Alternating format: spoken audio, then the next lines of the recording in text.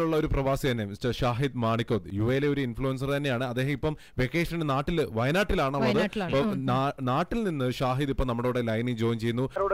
Complete ഇവിടെ വന്നിട്ട് എലിപ്പാടൊക്കെ റെഡിയാക്കി വെക്കാൻ പറഞ്ഞിട്ട് ഇപ്പൊ ഏകദേശം ഒരു നാല് മണിക്കൂറോളായി.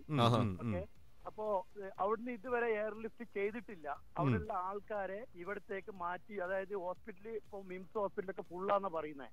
അപ്പോ അവിടെ നിന്നുള്ള ആൾക്കാരെ ഇവിടെ കൊണ്ടുപോയിട്ട് രോഗികളാണെങ്കിൽ ഹോസ്പിറ്റലിലേക്കും അതല്ല മാറ്റി താമസിക്കാണ് സെന്റ് മേരീസ് കോളേജിൽ ക്യാമ്പ് ഓപ്പൺ ആക്കിയിട്ട് ഇവിടെയുള്ള എല്ലാ ആൾക്കാരും നാട്ടുകാരടക്കം കംപ്ലീറ്റ് പോലീസ് ഉദ്യോഗസ്ഥർ ആംബുലൻസ് ഡോക്ടർമാർ എല്ലാം ഇവിടെ റെഡിയായി നിൽക്കുകയാണ്. ഈ പ്രദേശം അതായത് നമ്മൾ ഈ പറയപ്പെട്ട ഉരുൾപൊട്ടൽ നടന്നിരിക്കുന്ന മുണ്ടക്കെ എന്ന് പറഞ്ഞ പ്രദേശത്തേക്ക് സുൽത്താൻ ബത്തേരിൽ നിന്നും എന്ത് ദൂരമുണ്ട് ഷാഹിദിന്റെ ഇടത്തു നിന്നും ട്വന്റി ഫൈവ് തേർട്ടി കിലോമീറ്റർ ഓ അത്രേ അത്രേ ഉള്ളൂ, ഉള്ളൂ അത്രേ അത്രേ ഉള്ളൂ. ഉള്ളൂ. 30, okay. ശരി.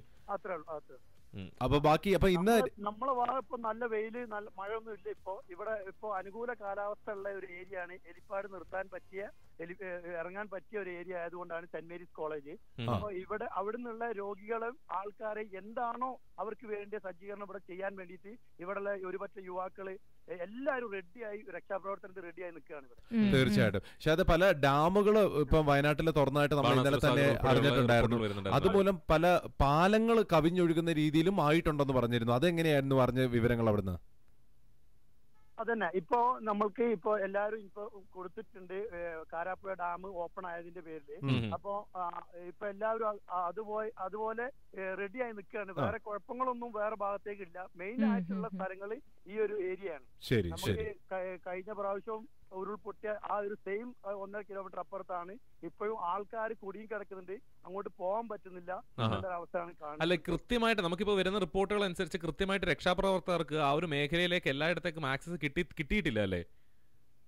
ഇല്ല ഇല്ല കിട്ടിയിട്ടില്ല കിട്ടിയിട്ടില്ല. ശരി ശരി. ഇപ്പൊ സൈന്യം ഉൾപ്പെടെ എത്തിയിട്ടുണ്ടെങ്കിൽ അവർക്ക് അവിടേക്ക് എത്താൻ പറ്റും. അതെ.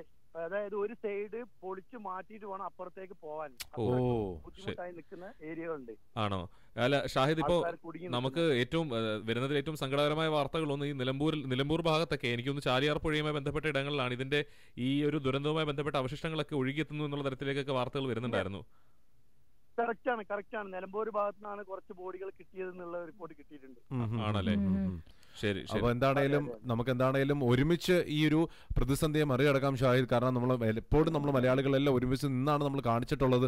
അപ്പൊ എന്താണേലും ഒരുപാട് സന്തോഷം. ഈ ഒരു സമയത്തും ആ നാട്ടിൽ രക്ഷാപ്രവർത്തനത്തിനായിട്ട് ഒരുമിച്ച് നിൽക്കുന്നതിലും ഒരുപാട് സന്തോഷം കേട്ടോ. അപ്പൊ വരുന്ന മണിക്കൂറിലെ അപ്ഡേറ്റ്സും ഒക്കെ തന്നെ മലയാളികളല്ലേ? എവിടെയാണെങ്കിലും എന്തുണ്ടെങ്കിലും തീർച്ചയായിട്ടും തീർച്ചയായിട്ടും. പ്രവാസ ലോകവും നിങ്ങളോടൊപ്പം തന്നെ ഉണ്ടെന്നുള്ള ഒരു കാര്യം കൂടി അറിയിക്കുകയാണ്. ഈ ഒരു സമയത്ത് നമുക്ക് ഒരുമിച്ച് ചേർന്ന് തന്നെ അക്ഷയ് പറഞ്ഞ പോലെ നമുക്ക് ഈ ഒരു ദുരന്തത്തെയും അതിജീവിക്കാം. അതെ.